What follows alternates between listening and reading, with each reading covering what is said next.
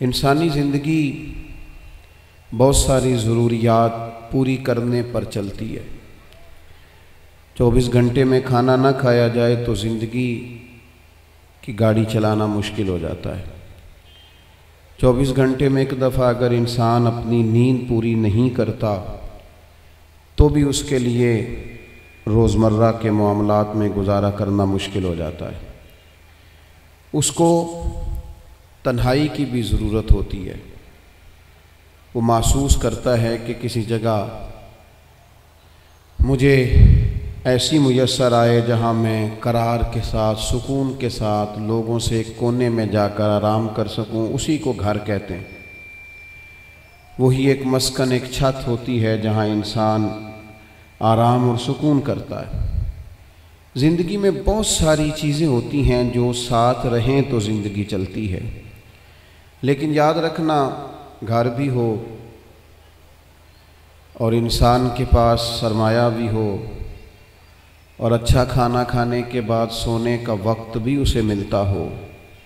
सुबह शामें उसकी बड़ी अच्छी गुजर रही हों, लेकिन अगर ज़िंदगी में मोहब्बत मौजूद ना ना हो,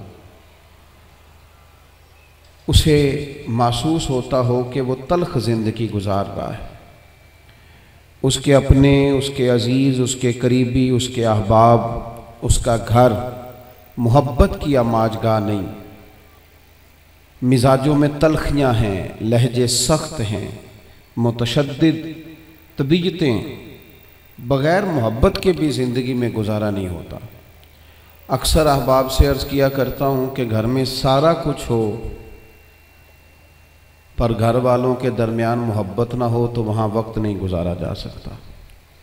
लेकिन कच्चा घर हो, थोड़े वसाइल हों, मुश्किल से गुजर अवकात होती हो, लेकिन जो घर में बसते हों, उन्हें प्यार करना आता हो। तो बाज़ात वो दुख भी इतनी जल्दी गुजर जाते हैं कि पता ही नहीं चलता कि दो खाए भी थे। मैं और आप बहुत प्यासे होते हैं मोहब्बत के। मोहब्बत के बग़ैर इंसान महसूस करता है कि ज़िंदगी में रंग तो हैं, पर फीके हैं। सफ़र तो है, लेकिन कट नहीं रहा। वो कोशिश तो करता है, आगे बढ़ता तो है, लेकिन उसके लिए बड़ी चीज़ें बोझ हो जाती हैं। लेकिन अगर मोहब्बत हो, आप अपने और मेरे काम से हम सब आशना हैं। हम जो काम करते हैं, अगर वो काम मोहब्बत से ना ना करें तो वो काम थका देता है। जो काम भी बंदा मजबूर हो के करता है, तंग आके करता है, कोफ्त के साथ करता है, वो काम थका देता है, उकता जाता है आदमी। और अगर किसी काम को मोहब्बत से किया जाए, अगर किसी काम को प्यार से किया जाए, उसकी लज्जत लेके किया जाए, और उस काम का इंसान को मज़ा आने लगे तो वो काम थकाता नहीं, बल्कि वो तो बंदा ओवर टाइम लगा के भी राज़ी होता है यार ये काम तो मेरा मिशन बन गया। ज़िंदगी जब मोहब्बत वाली होती है, प्यार वाली होती है, वारफ्तगी वाली होती है, एक दूसरे के लिए अच्छे जज्बात वाली होती तो वहाँ तवील मुलाकातें भी मोहब्बत छोड़ जाती हैं। और अगर ज़िंदगी में प्यार ना हो तो फिर थोड़ी देर भी मुलाकात के बाद इंसान बुरी यादें लेकर रुखसत होता है। अल्लाह के प्यारे महबूब सलाम ने फरमाया, मोमिन उल्फत वाला होता है। मोमिन मोहब्बत वाला होता है। जो मोमिन है, अल्लाह रसूल को मानने वाला, वो मोमिन है तो फिर साथ मोहब्बत भी है।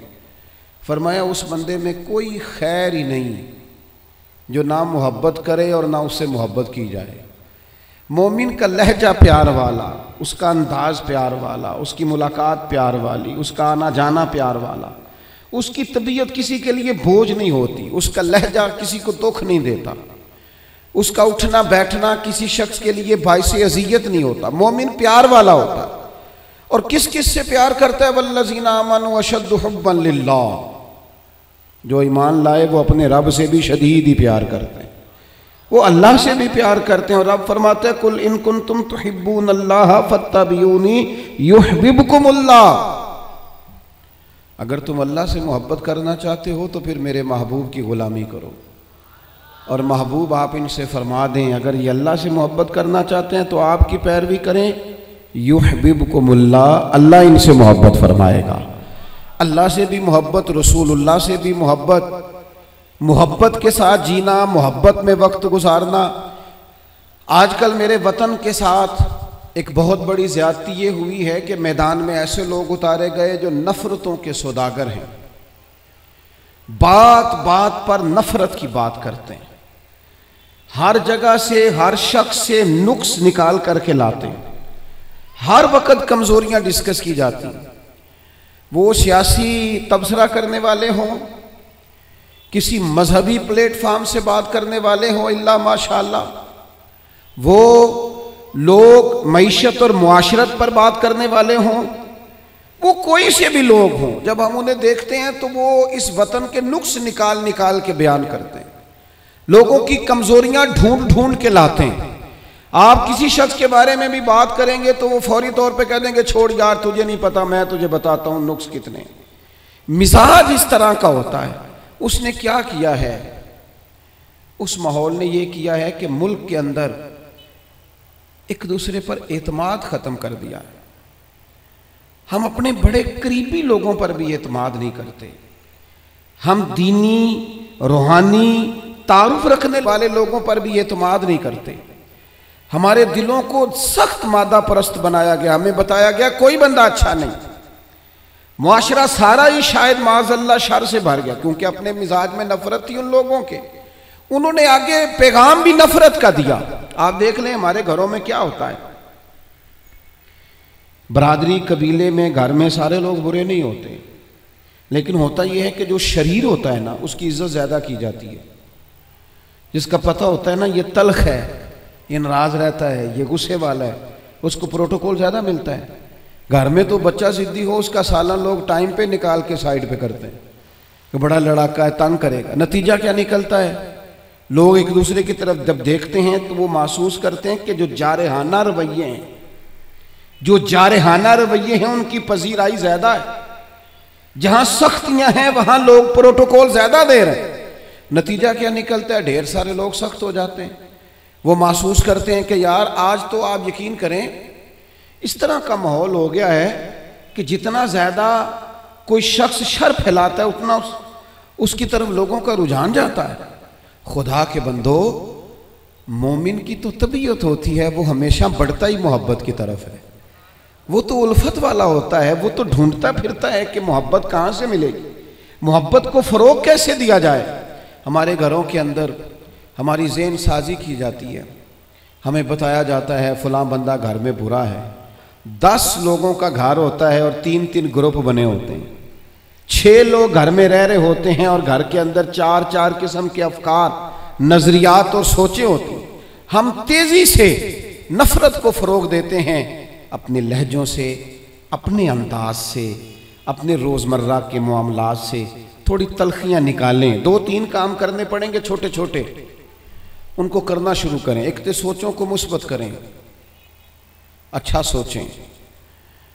दूसरी, इस बात पर ज़रूर गौर करें कि ये जो मखलूक है ना, ये रब ने बनाई है और जो रब ने बनाया है, वो बड़ा ही सोना बनाया है। लकद खलक इंसान फ़ी अक्सन तकवीम। अल्लाह ने खूबसूरत बनाया इसे। अल्लाह की खूबसूरती बनाई हुई को खूबसूरत समझें। और उस खूबसूरती को अपनी निगाहों के सामने करें। उसमें से हुस्न तलाश करें। तीसरी बात यह कि जो हम अगर मोहब्बत को फ़रोग देना चाहते हैं तो कहीं कहीं किसी किसी मकाम पर अपना ज़ाती नफ़ा छोड़ना भी शुरू करें। थोड़ा थोड़ा ना किसी और को भी नफ़ा ले लेने दें।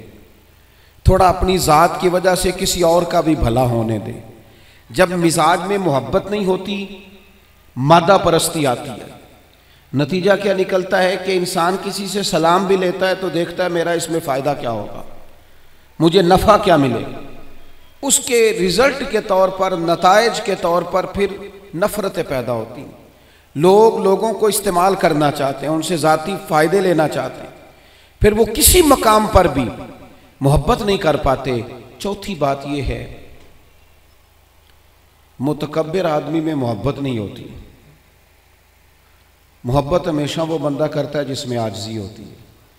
जिसमें किसी भी लिहाज से कोई तकबर होता है, वो तकबर इल्म का हो, वो माजल्ला तकवे का हो, वो दौलत का हो, वो इकतदार का हो, वो समझदार अपने आप को समझने का तकबर हो, जितने तकबर का शिकार लोग होते हैं, कभी मोहब्बत नहीं करते। इसलिए कि वो किसी को इस काबिल नहीं समझते, सबसे बड़े तो वो खुद होते हैं। उनका ख्याल होता है, मैं मोहब्बत के काबिल हूँ, मुझसे मोहब्बत करो। उनका ख्याल होता है, मैं ताजीम के काबिल हूँ, मेरी ताजीम करो। मैं एजाज के काबिल हूँ, मुझे एजाज दो। नतीजा ये निकलता है कि वो चूँकि खुद मोहब्बत करते नहीं, लिहाजा मोहब्बत का फ़रोग भी नहीं होता। बहुत बड़े बुज़ुर्ग थे शेखुल हदीस। अलामा अब्दुल मुस्तफ़ा अजरी साहब रहमत जानते हैं, सदर शरिया, साहिब बहार शरीयत मौलाना अमजद अली साहब रहमत के बेटे थे। उनके सैकड़ों शागिर्द थे और बेशुमार अकीदतमंद थे। तो ज़ाहिर है जिस आदमी को थोड़ा बहुत लोग जानने लगते हैं फिर उसके आगे पीछे खुदाम की हटो बचों की भी दास्तानें बहरहाल होती हैं। तो हज़रत एक जगह पे खिताब कर रहे थे तो खिताब करते करते फरमाने लगे, फ़कीर के सैकड़ों शागिर्द हैं। चाहने वाले भी बेशुमार हैं। लेकिन अल्लाह का शुक्र है, मैं अपना जूता खुद उठा लेता हूँ। मुझे इसमें कोई तकल्लुफ महसूस नहीं होता। मैं अभी तक इस मिजाज का शिकार नहीं हुआ कि एक आदमी जूता लेके चले और एक मेरा थैला उठा करके चले। मैं प्यार करता हूँ, मुझे मोहब्बत आती है, मेरे लहजे के अंदर दूसरों के हक में अच्छे जज्बात। मेरे अजीजों, ये किसी भी किस्म का कोई भी गुरूर आ जाए माजल्ला ये मोहब्बत नहीं करने देता। जब हम मोहब्बत करेंगे, जब हम प्यार करेंगे, आप यकीन करें हमारे माशरे में हम समझते हैं शायद लोगों को माली इमदाद की ज़्यादा ज़रूरत है। हमारी ये राय बन गई है कि शायद लोगों के मुआशी मसाइल हल करने की ज़्यादा ज़रूरत है। हमारा ये जहन बन गया है कि शायद सड़कें ही ज़्यादा मज़बूत बन जाएँ और इंडस्ट्री ही ज़्यादा लग जाए तो मसाइल का हल है। मैं छोटा आदमी हूँ, लेकिन एक छोटी सी राय रखता हूँ। कि लोगों को माली ताउन से भी ज़्यादा मोहब्बत की ज़रूरत है। आप गरीब आदमी को भले रोटी ना भी दें, लेकिन अगर आप मालदार हैं, अगर आप साहिब हैसीयत हैं, अगर आप ऊँचे मनसब वाले हैं, आप उसे कुछ ना दें, आप उसे इज़्ज़त देनी शुरू करें। आप उससे प्यार करना शुरू करें। आप उसका एजाज करना शुरू करें। आप कभी कभी उसे साथ बिठाना शुरू करें। आप आप करें उस गरीब आदमी के साथ ये एजाज वाला काम, कि जब मिलाद की बजम हो तो कम अज कम उस बुज़ुर्ग को। इसने सारा साल फजर की अजान पड़ी है और मस्जिद में झाड़ू दिया है, पर है गरीब। आप आप उसकी सदारत रखें महफिल मिलाद पे। आप डालें उसके गले में फूल और बिठाएँ उसको स्टेज पर। आप करें मोहब्बतों का फरोग। आप ये काम करें, लेकिन क्या करें? दीनी माहौल में भी जिसके हाथ में नोटों की दत्थी होती है, उसकी पहली सीट होती है। यहाँ भी उन लोगों को सारा एजाज और प्रोटोकॉल दे दिया जाता है, जिनके बारे में ख्याल होता है कि शायद माली गुंजाइश ज़्यादा रखते हैं। सबसे ज़्यादा जिस बात की ज़रूरत होती है, वो मोहब्बत की। एक बुज़ुर्ग थे। तो एक जगह पे उन्होंने खाना खाया। चलें किसी दानश्वर का समझ लें। किसी आदमी की मिसाल ले लें, कहीं खाना खाया उन्होंने।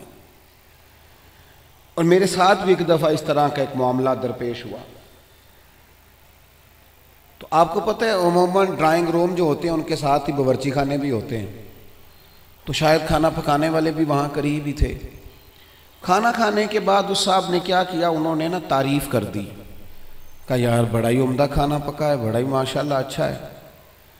कुछ देर के बाद जब वो रुखसत होने का वक्त करीब आया तो अंदर से ना बहुत ऊँची आवाज़ में हिजकियों के साथ रोने की आवाज़ आई। तो साहिब खाना से पूछा कि, क्या हुआ है? अच्छा तो नहीं लगता कि आपके मामले में मुदाखलत की जाए, लेकिन खैरियत तो है तो उन्होंने कहा, नहीं, वो आपकी वजह से रो रहे हैं घर वाले।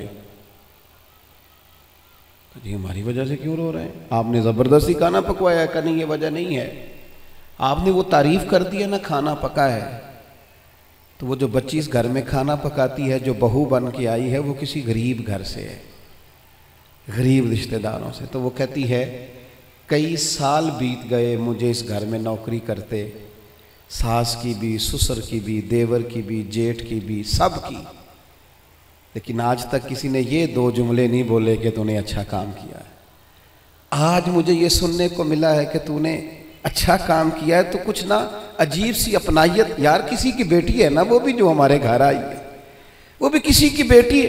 इतना प्यार भी करने को हम तैयार नहीं है कि दो लफज शाबाशी के हो जाए, क्या बात। इसने गर्मी में खड़े होके सबके लिए खाना पकाया, वो कहते ये ये जुमले, इतने दो जुमलों नहीं।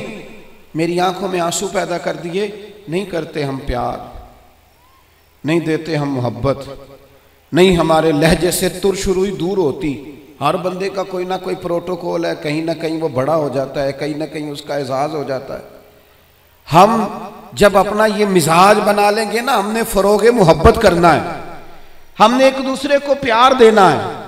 हमने तलखी नहीं करनी। वो देखे ना, एक बंदे से गिलास टूट गया है, मुलाजिम से तो उसके मालिक ने कहा है, तूने सेट खराब कर दिया है। तू देख के नहीं चलता तो जब भी करता है, नुकसान ही करता है। वो बंदा परेशान हो गया है। और परेशानी उसकी ख़त्म नहीं हुई। ये उतनी देर ख़त्म नहीं होगी जितनी देर उस महीने की तनख्वाह नहीं मिलेगी। क्योंकि उसे डर है कि कहीं पैसे काट ना लिए जाएँ। लेकिन एक शख्स के हाथ से तीन, चार गिलास टूट गए हैं। तो मालिक ने देखते ही कहा भाई, टेंशन न लेना, टूटने वाली चीज़ थी, टूट गई। मेरे बच्चे भी तो तोड़ देते हैं, मेरे से भी कई दफ़ा टूट जाती है। आप परेशान ना हो, अल्लाह खैर करेगा। ये चीज़ उस बेचारे को रात सुकून की नींद दे देगी। लेकिन हम उसके लिए तैयार नहीं होते, अपने लहजों में मोहब्बत पैदा नहीं करते, फरोग और मिल्लत के जवानों। माँ बाप से प्यार करना शुरू कर दो, एक घंटा टाइम देना शुरू कर दो, उनके पास बैठना शुरू कर दो। उनकी दवाइयाँ कम होनी शुरू हो जाएँगी। बगैर डॉक्टर के बड़ी सारी चीज़ों से करार आना शुरू हो जाए।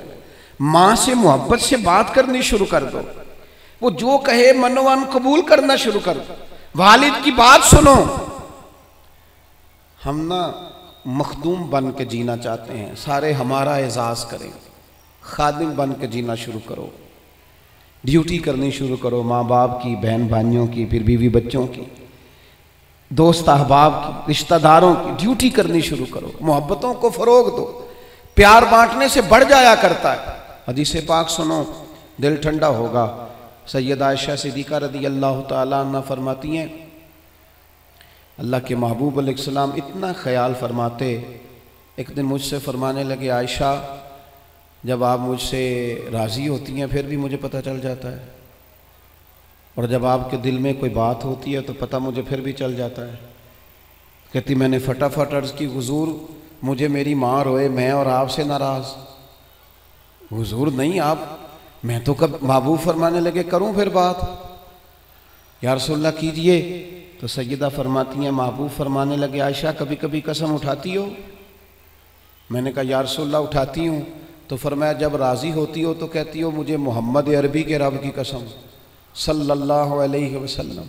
और जब तुम्हारे दिल में कोई बात होती है, फिर कहती हो, मुझे हज़रत इब्राहिम खलील के रब की कसम। फिर जनाब खलील की नस्बत से अल्लाह की कसम उठाती हो। जनाब आयशा कहती हैं, लोगों, में तुम्हें बता नहीं सकती मेरा हाल क्या था।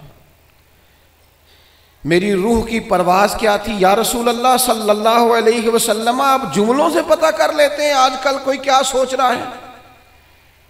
उसके लफ्जों से अंदाज़ा कर लेते हैं कि उसकी कलबी कैफियत क्या है।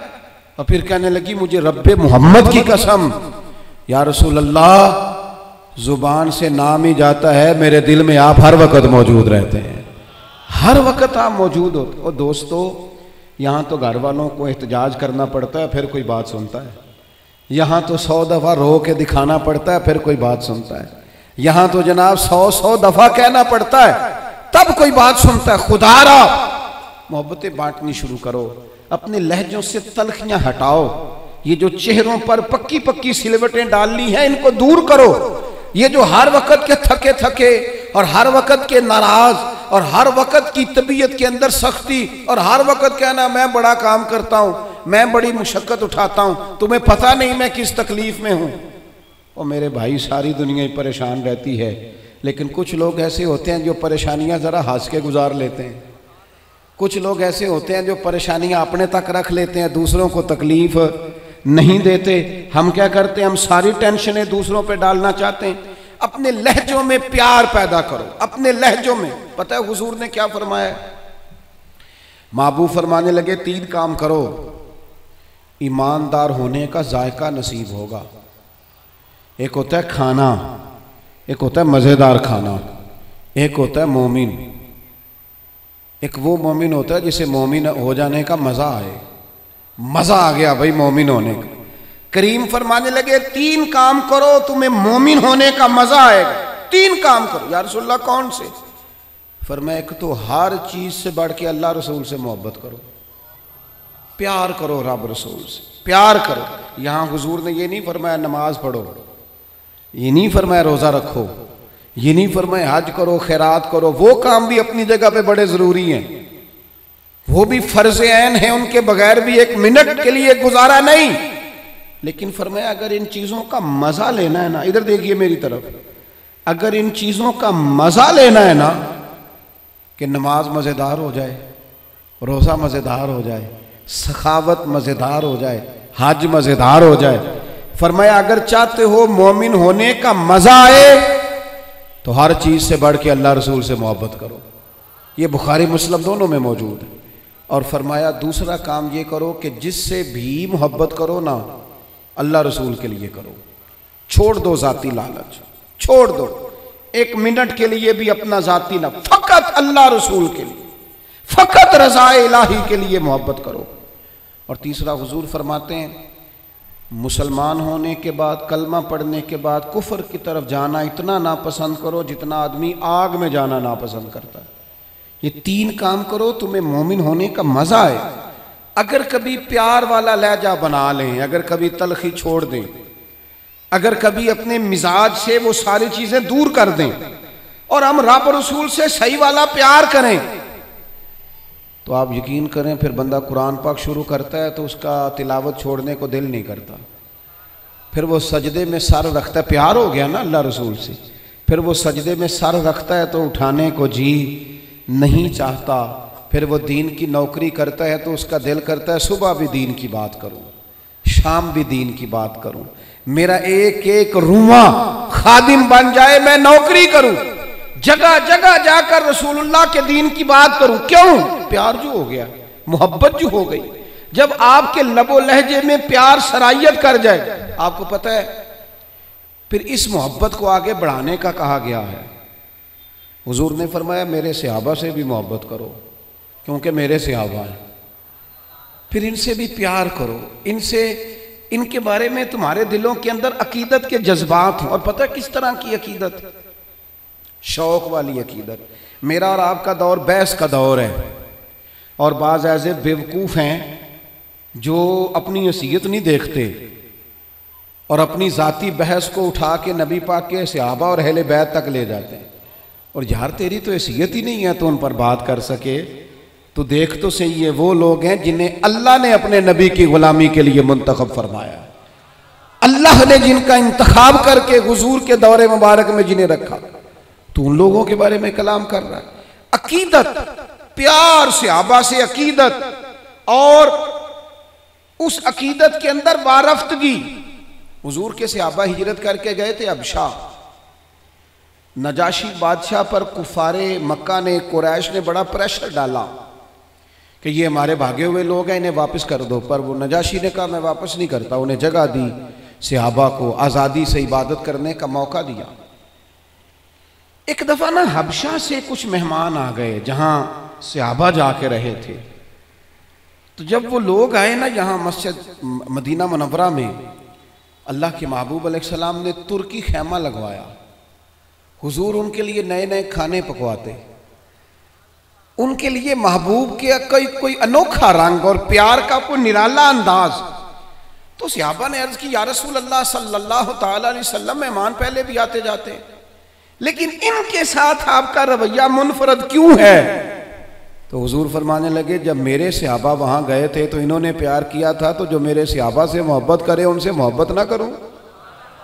अल्लाह करे, आपको समझ आए? जो जनाब अबू बकर से मोहब्बत करे, उससे हुजूर मोहब्बत फरमाते हैं। जो हज़रत उमर से मोहब्बत करे, उनसे हुजूर मोहब्बत फरमाते हैं। जो सैदना उस्मान गनी का हया करे, उनसे महबूब मोहब्बत फरमाते हैं। और मौला मुर्तदा के बारे में तो फरमाए, इसकी मोहब्बत ही तो ईमान है। और अली का बुग्ज ही तो निफाक है। मोहब्बत, प्यार, वारफ्तगी, शौक इन लोगों के बारे में अपने दिलों के अंदर जज्बात। और फिर जो हुजूर की औलादे पाक है, आपको पता है, जो अपने मोहसिन का शुक्रिया अदा नहीं करता, वो रब का भी नहीं कर सकता। हम तो ना अपने इस और मशाइ को मोहसिन जानते हैं। हम तो अपने बुज़ुर्गों की औलादों की कदर करते हैं। इमाम आज़म कहीं बैठे थे तो एक बच्चा छोटा बार बार आता था तो इमाम साहब उठ के खड़े हो जाते। कई दफ़ा आया, इमाम साहब कई दफ़ा खड़े हुए। शागिर्दों ने अर्ज़ की, हुजूर, ये छोटा बच्चा है, कई दफ़ा आएगा, आप बूढ़े आदमी हैं बार बार उठने में तकलीफ़ होती। ये तो सौ दफ़ा आएगा तो इमाम साहब फरमाने लगे, हज़ार दफ़ा भी आए। मैं खड़ा रहूँगा इसके इस्तकबाल को, हजूर, क्यों? कौन है? बता ही दे। तो इमाम आज़म रो पड़े। फरमाने लगे, मेरे उस्ताद का पोता है ये। असला नाल जे नेकी करिए नस्ल ताक नहीं भुल दे असला नाल जे नेकी करिए नस्ल ताक नहीं भुल दे ते बेअसला नाल नेकी करिए फुल कंडिया नाल तुल दे और मेरे अज़ीज़, हम तो अपने सातदार मशाइ की औलादों का एहतराम करते हैं, और फिर जो नबी पाक की औलाद है, पता है हजूर ने किन लफ्ज़ों से अपनी अहले बैस से मोहब्बत करने का कहा है?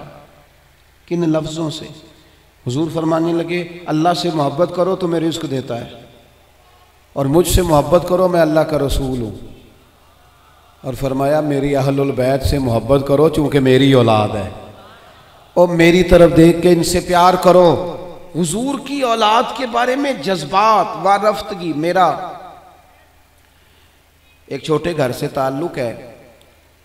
लेकिन मैंने अपने बुज़ुर्गों को, वालदेन को, अपनी दादियों, नानियों को वो कहा था ना, आला हज़रत ने, मैं खान आज़ाद कोहना हूँ? सूरत लिखी हुई, बंदों, कनीज़ों में मेरे मादर पिदर की है। फाजिल बरेलवी कहते हैं यारसुल्ला हम तो ख़ानदानी ग़ुलाम हैं आपके घर के। और आपके घर में जो रजिस्टर है ना, उसमें हमारी सूरतें मौजूद हैं। यारसुल्ला मेरे बाप, दादा पड़दादा नाना पड़नाना वो आपके घर के ग़ुलाम हैं। और मेरी दादियाँ, नानियाँ, पड़नानियाँ, वो कनीज़ें हैं आपके घर की।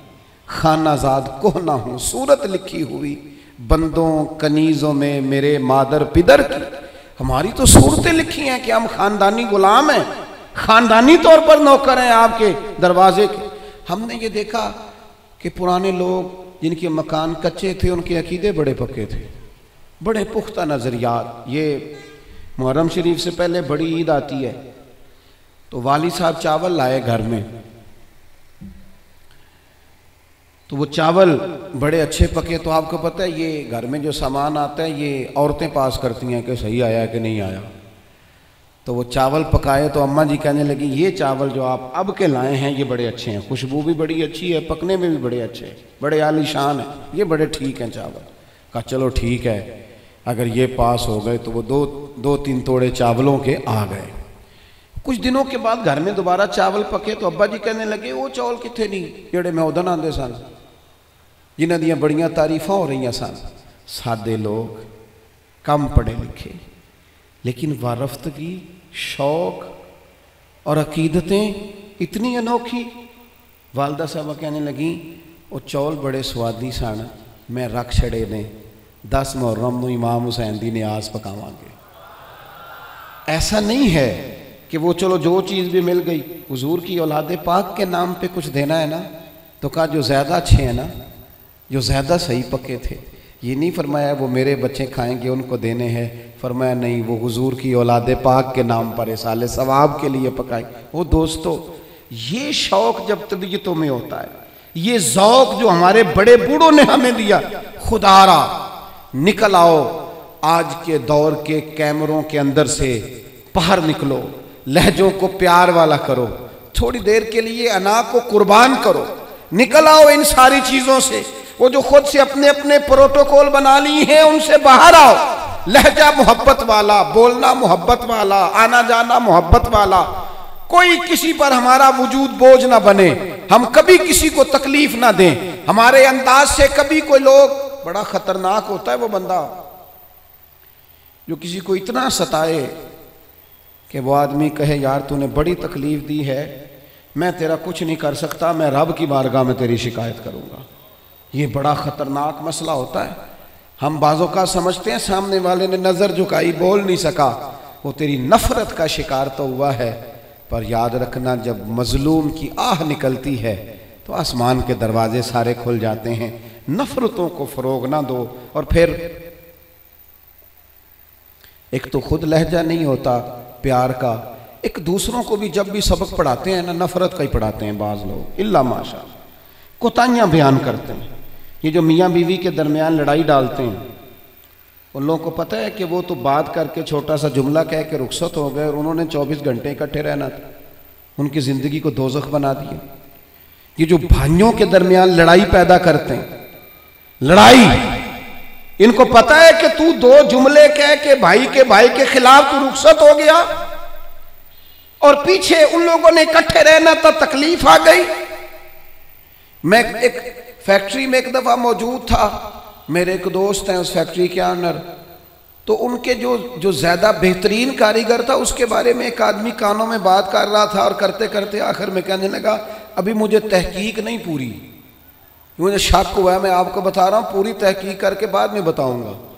तो वो जब जाने लगा तो मैंने उससे कहा, मैंने कहा, तू पूरी तहकीक पावे, नाम ही कर। जी अग तू लाई है ठीक ठाक लग गई है।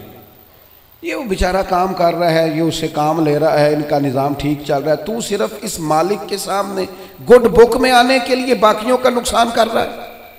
थोड़े से नफे के लिए आग लगा रहा है माहौल के अंदर। अपनी जाति कुर्बत बढ़ाने के लिए नफरतों को फरोग दे रहा है।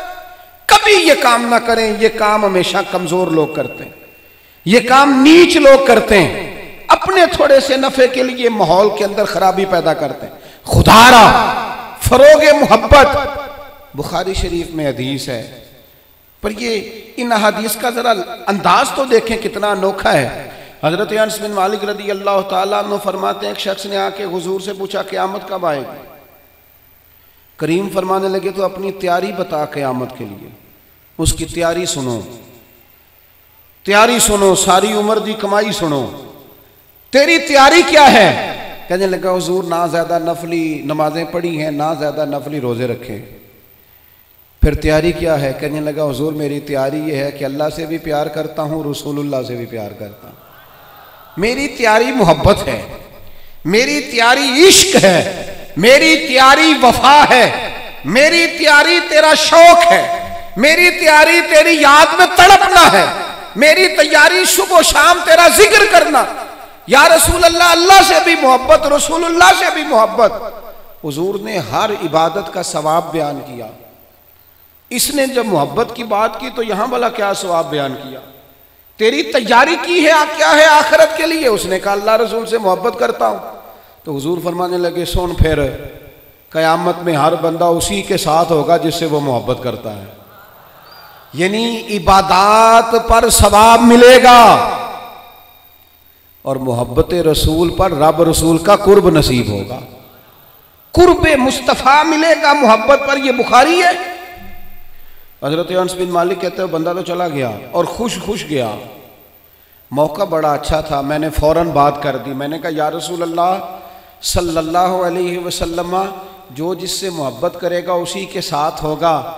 मैं अल्लाह से भी मोहब्बत करता हूँ, रसूलुल्लाह से भी मोहब्बत करता हूँ, अबू बकर सिद्दीक से भी करता हूँ, फारूक आज़म से भी करता हूँ। हुजूर, मेरे लिए क्या हुक्म है? तो महबूब ने फरमाया, फतवा वही है।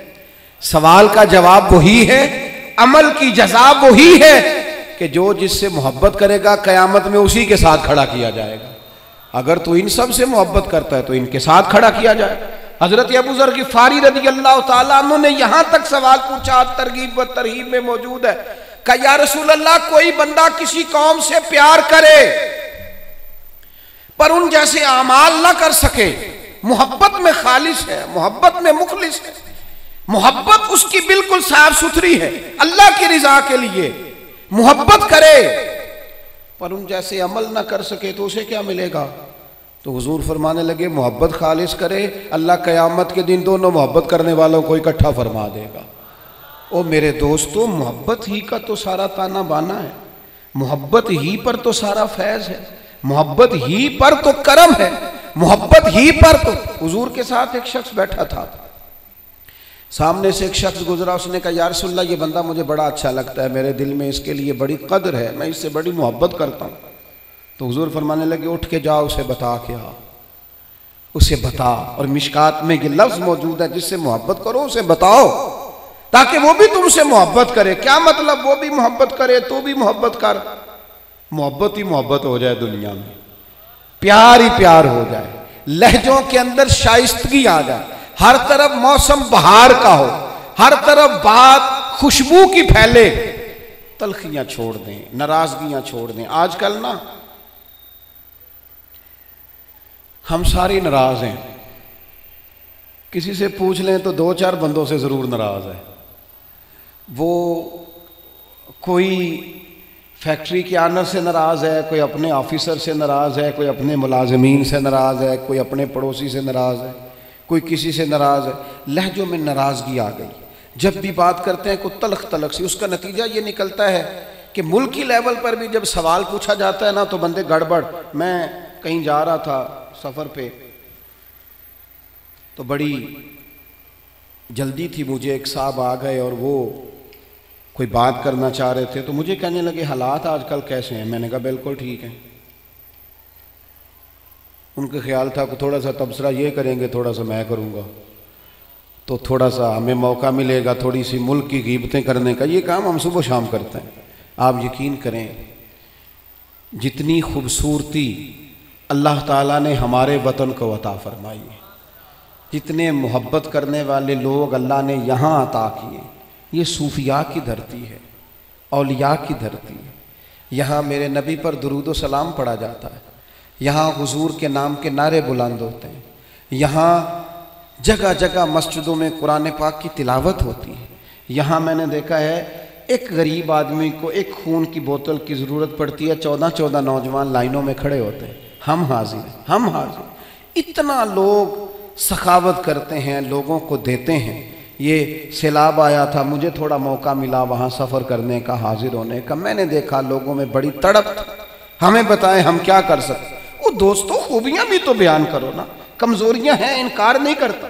लेकिन इतनी तलखी, इतनी नाराज़गी, हर वक्त का शिकवा, इतनी पाक सरजमीन के बारे में हर वक्त लहजों के अंदर नफरत और हर वक्त गलत बात, खुदारा, आप सोचें, इसी धरती ने, इसी वतन ने कितने मुजाहिद पैदा किए, कितने शहीद पैदा किए, कितने दलेर पैदा किए, कितने जाने देने वाले पैदा किए। कितने मर मिटने वाले पैदा किए, कितने लिल्लाहियत वाले। मेरा एक दीनी तारुफ है।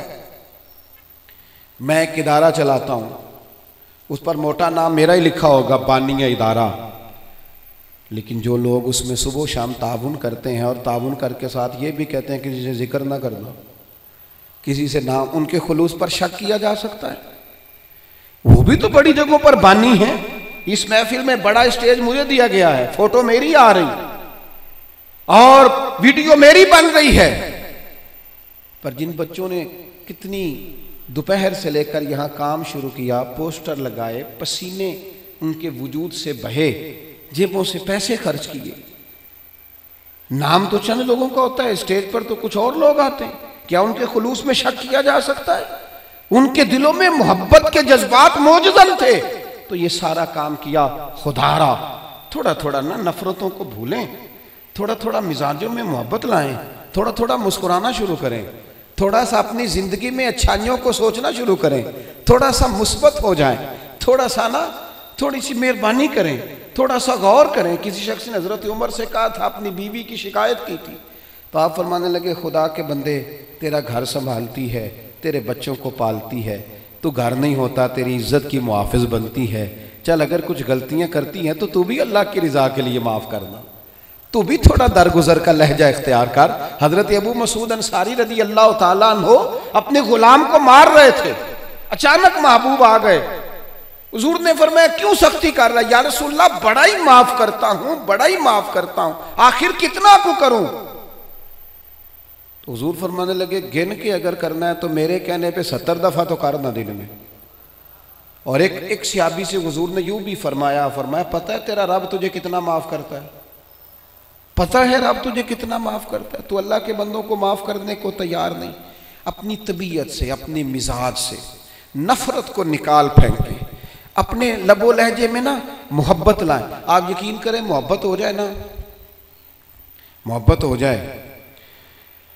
तो वो इस तरह का रूप धार लेती है कि कुछ चीज़ें ना, वो कुछ लोग ऐसे होते हैं जो मांग के लेते हैं कुछ चीज़ें। और कुछ का लहजा इतना शानदार होता है, वफादार इतने होते हैं, प्यार इतना करते हैं, उन्हें मांगना पड़ता ही नहीं।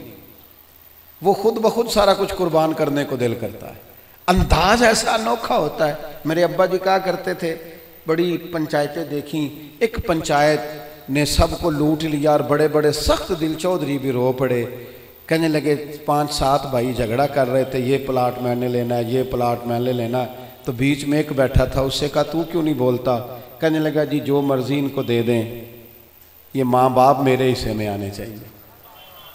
इनकी खिदमत मैंने करनी है, जो मर्ज़ी। और एक नौजवान की मेरे साथ बात हुई। आप यकीन करें, चलें, चंद किताबें पढ़ने का मुझे भी मौका मिला और कुछ दुनिया देखने का मुझे भी मौका मिला। मैंने अपने वतन के सारे कोने देखे, मुल्क से बाहर भी अल्लाह ने कुछ मौके दिए। एक दफ़ा एक नौजवान से मैंने कहा, वालदेन आपके साथ रहते हैं? कहने लगा, नहीं जी। आपकी तवज्जो है मेरी बात पर। मुझे इतना मज़ा आया उसकी बात का कभी कभी बड़े आदमी की बात पर भी बंदा नहीं रोता, अनपढ़ आदमी था। वो मैं रो पड़ा। मुझे मेरा उस घर से ताल्लुक था तो वो थोड़े थोड़े सब भाई अलग अलग हुए तो मुझे किसी ने बताया, वालदेन उसके साथ गए। तो मैंने उसे कहा, वालदेन के साथ रहते? कहने लगा, नहीं जी। मैंने कहा, वालदेन आपके साथ रहते हैं? कहते, नहीं, मैं वालदेन के साथ रहता हूँ। मुझे अब्बा जी ने रखा हुआ है। अब्बा ने मुझे रखा है मैं कौन होता हूँ उनको रखूँ? वो तो बड़े हैं। उन्होंने मुझे रखा हुआ है, मेरे बच्चे रख लिए, उनकी मेहरबानी। मैं लहजा ही और हो गया, कोई रंग ही और था बात का। और मेरे भाई, ये जो मोहब्बत, आप देखें ना एक यहूदी बच्चा। मेरे रसूल की बारगाह में आता और हुजूर की खिदमत करता। यहूदी था। ना बाप आता है ना भाई आते हैं ना चचा आते। बुखारी में उसका ज़िक्र मौजूद। आता और मोहब्बत करता खाली। नौकरी करता। बीमार हो गया। कुर्बान जाए। अल्लाह के रसूल तीमारदारी करने चले गए। और हुजूर उसके सराहने जाके बैठ गए। वो यहूदी इस बात पर ही बड़ा हैरान था कि मुझ गरीब के घर महबूब आ गए। और फिर हुजूर उसके घर जाके गोया कुआ प्यासे के पास चला गया। घर जाके हुजूर सराहने बैठकर फरमाने लगे, चल, पढ़ ना कलमा। पढ़ ना कल ये उसकी मोहब्बत थी। वो सिर्फ़ मोहब्बत करता तो बच्चा था। इजहार भी नहीं कर सकता था। वो सिर्फ़ प्यार करता। लफ्जों का जामा नहीं पहनाता था वो अपने मामला वो अपने अमल से महबूब से मोहब्बत करता। हजूर सलाम से प्यार करता और उम्र भी छोटी थी अभी। इश्क लगा सी खेडा खेड दी तो खेडा भुल दिया भुल दिया भुल गई कज्जल पाया सी यार दे वेखने फिर वो याद रोंदिया ही डुल गई हैदर शाह इस गली कदे ना रुलदी, पर हूँ तो रुलदी रुलदी। मैं रुल गई हाँ महबूब फरमाने लगे, कलमा पढ़ ले। उसने अपने बाप की तरफ़ देखा। अब्बा जी क्या कहते हैं? तो वालिद कहने लगे, पुत्र, जैसे करीम फरमाते हैं, वैसे ही कर ले। उसने कलमा पढ़ना शुरू कर दिया और महबूब वहाँ से उठे और ये कहते हुए उठे कि शुक्र है, अल्लाह ने इसे दोजक से निजात अदा फरमा दी। जहन्नुम से बच गया, किस बुनियाद पर बच गया? कौन सी चीज़ गुजूर को उसके घर ले गई? वो उसकी मोहब्बत है ना नबी पाक से? वो उसका प्यार है ना हुजूर के साथ? वो वारफ्तगी, वो शौक, वो दर्द दो चार दिन के बाद एक सियाबी ने हुजूर की जियारत की। गरीब आदमी थी। उसे ज़ाहरी तौर पर ना चेहरा, अनवर पर कुछ नकाहत नज़र आई। अर्ज़ करने लगे, हुजूर, मेरे माँ बाप कुर्बान, मैं चेहरे पर कुछ कमज़ोरी ज़ाहरी तौर पे देख रहा हूँ। तो हुजूर फरमाने लगे, चार पाँच दिन बीत गए, सिवाय खजूर पानी के मैंने कुछ खाया नहीं। सिर्फ़ मीठा ही खाना सुन्नत नहीं, फाका करना भी सुन्नत है। मैंने कुछ दिनों से खाया नहीं। उसके ज़ाहरी असरात ज़ाहरी तौर पर कुछ तुम्हें दिखाई दे रहे हैं। दौड़े गए घर वालों से पूछा, कुछ है खाने के लिए? उनने कहा, कुछ नहीं है। जो अपने घर थे करीब रिश्तेदारों के, पड़ोसियों के, हमसायों से, उनसे पूछा, तुम्हारे पास है कुछ खाने को? उन्हें कहा, कुछ नहीं। अब यहाँ भी रुके नहीं। ये मोहब्बत है ना, ये शौक पैदा करती ये मोहब्बत है ना, ये बंदे के अंदर जज्बात पैदा करती। ये मोहब्बत है, अदम से लाई है, हस्ती में आरज़ू रसूल। और देखो कहाँ कहाँ लिए फिरती है जुस्तजु रसूल। यहाँ बस नहीं की, प्यार खालिश है ना। एक यहूदी के बाग में गए, उसे कहने लगे, मजदूरी मिलेगी। कहने लगा, है तो सही, पर मुश्किल बड़ी है। फिर मैं, क्या मुश्किल है? कहने लगा, गर्मी सख्त है। पानी कुएँ का नीचे चला गया है। वो निकाल के दरख्तों को सैराब करना है और काम मुश्किल है, गर्मी बड़ी सख्त है, कर लोगे? फिर माने लगे, ज़रूर करूँगा।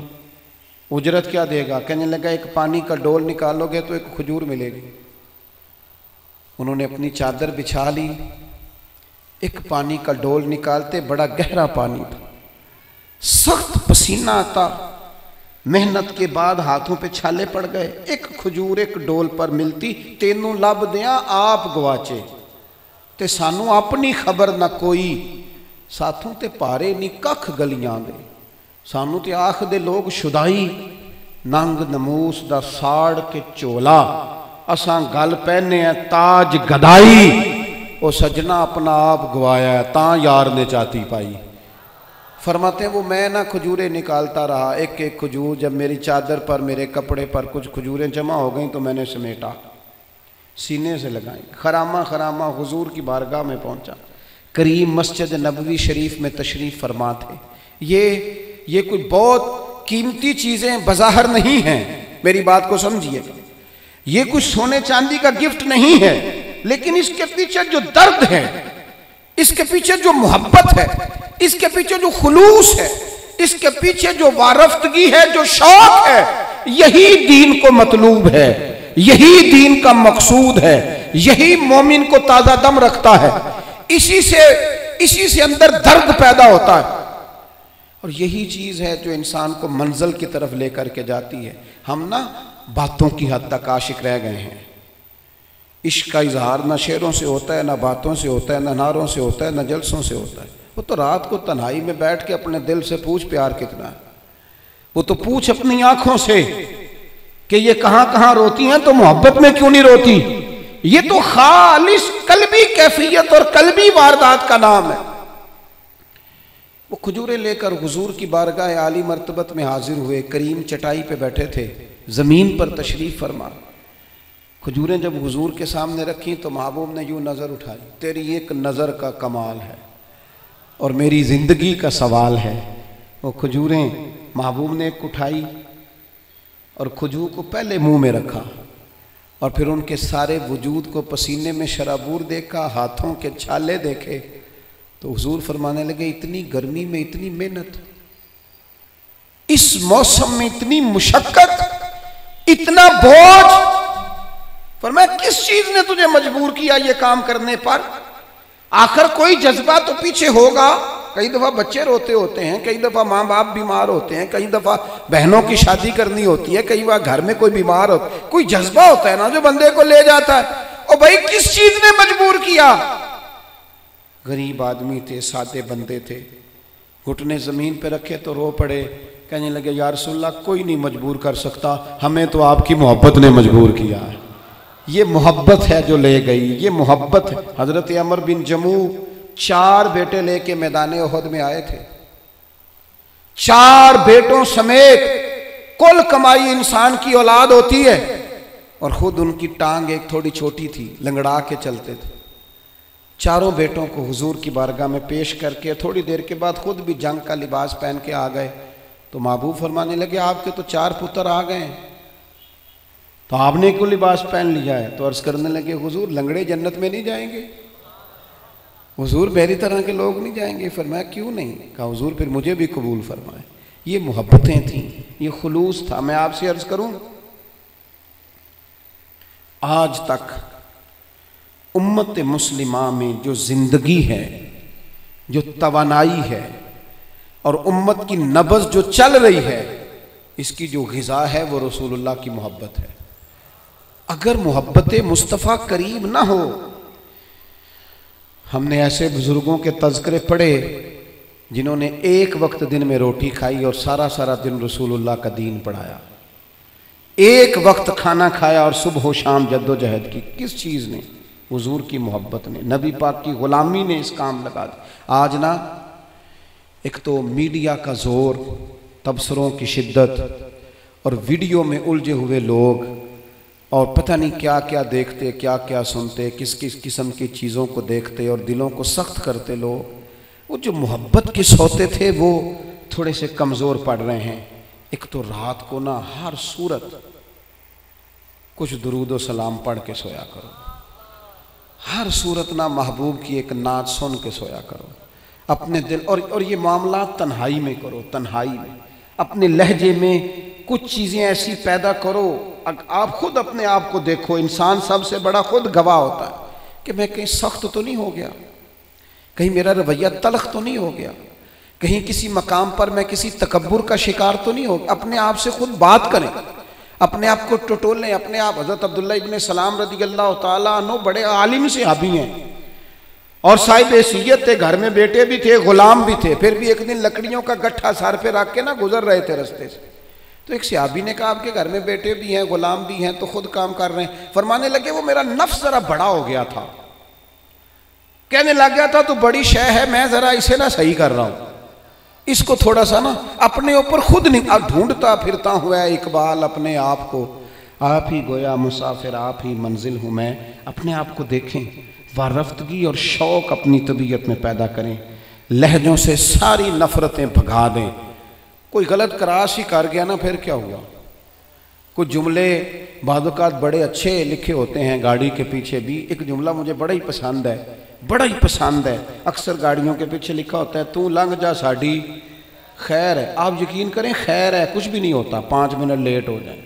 कोई गलत क्रास कर गया, दो चार हारन दे गया, थोड़ा तलक हो गया तो क्या है भला हम? कोई कर गया ना बात तो फिर क्या हुआ? किसी ने को दो तीन जुमले हमारे बा, बारे में मुखालिफ बोल दिए तो मसलन क्या है हम? मिट्टी देते मिट्टी रहना ही। का दी बल्ले बल्ले। अज मिट्टी दे उत्ते बंदे आते कल मिट्टी दे इतना ज़्यादा अपने आप को बड़ा कर लेना और ख़ुद ब खुद ही कर लेना। और हर वक्त तलख रहना हर वक्त नाराज़ रहना। अगर किसी वक्त कोई नाम भी सलाम ले सके और अगर किसी वक्त को पूरी तवज्जो ना भी कर सके तो क्यों कहते हो कि बंदा मुतकबिर है? यूँ क्यों नहीं कहते कि कोई परेशानी होगी? यूँ क्यों नहीं सोचते कि उसकी तबीयत ख़राब होगी?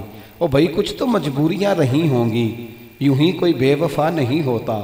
किसी जगह गौर कर लो, कहीं किसी शख्स को कोई तकलीफ़ ना हो। लेकिन वो हमने ना थोड़ी थोड़ी बातें अब तो ना हमें कोई बात पता चलती है, ना हमारे पास कोई यकीनी खबर होती। हम अपने घर में बैठकर सोच कर ही कि फुला इस तरह का निरा सोच के ही नाराज़ हो जाते कोई हमारे पास उसकी दलील नहीं, कोई सबूत नहीं, कोई प्रूफ नहीं, फलाना बंदा इस तरह का है सोच कर ही नाराज़ हो गए। सौ फ़ीसद। तो ये आज कुछ मोहब्बत लेके जानी है, कुछ नाराज़गियाँ छोड़ देनी है, कुछ बंदों को ना खुद ब खुद ही माफ़ कर देना कुछ लोगों के बारे में ना दिल को हल्का फुल्का करके सोना कहीं ना, कहीं कोशिश करनी है, यार आज के बाद ना थोड़ा पीछे भी सीट मिल गई तो हो जाएगा गुजारा। कोशिश करनी है कि यार कोई हरज नहीं है, अगर कोई बंदा कोई कोई तलखी कर भी जाएगा तो कोई हरज नहीं। हमने अपने लहजे को गड़बड़ नहीं करदा। मोहब्बतों को फ़रोग दें, मोहब्बतों के साथ जिए, मोहब्बतों को आगे रखें। सारी दुनिया मैदान में निकलती है जीतने के लिए। लेकिन कुछ हज़रत जुनैद बगदादी की तरह मैदान में हारने के लिए भी उतरते हैं। वो कहते हैं, यार नहीं अपनों से, बुज़ुर्गों से, बड़ों से, करीबियों से, मोहब्बत वालों से कोई जीता तो नहीं ना जाता। कोई अर्ज़ नहीं, हम हार जाएँगे, कोई फ़र्क नहीं पड़ता। कभी कभी मैदानों में हारने के लिए भी उतरो। उसकी वजह ये होती है कि छोटे बच्चे को ना कई दफ़ा बाप उसके साथ पंजा लड़ाता है ना तो जानबूझ के इसलिए हारता है कि मेरा पुत्र खुश हो जाए।